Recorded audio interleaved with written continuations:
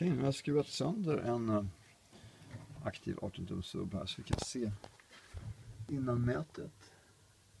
Slutsteget med sylflänsare. Toroidtrafo. Strömdel med säkringar, säkringshållare. Det finns ju säkring på utsidan också. Så det är säkringar både på insidan och utsidan.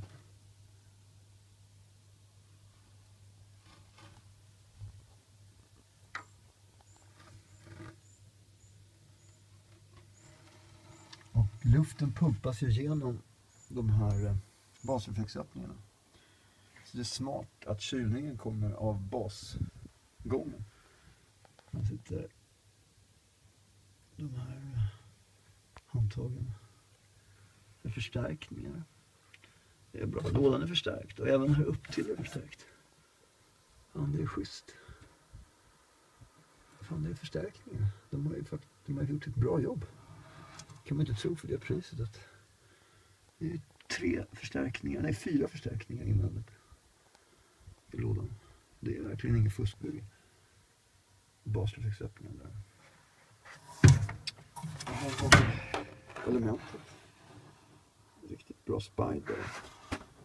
Tvåtums talspole. Rejäla,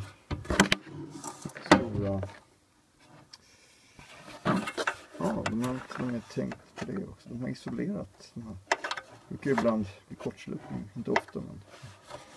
Ja, för första gången jag sett någon som tänker på det. Ja, smart. Isolerat. Det är inte dumt.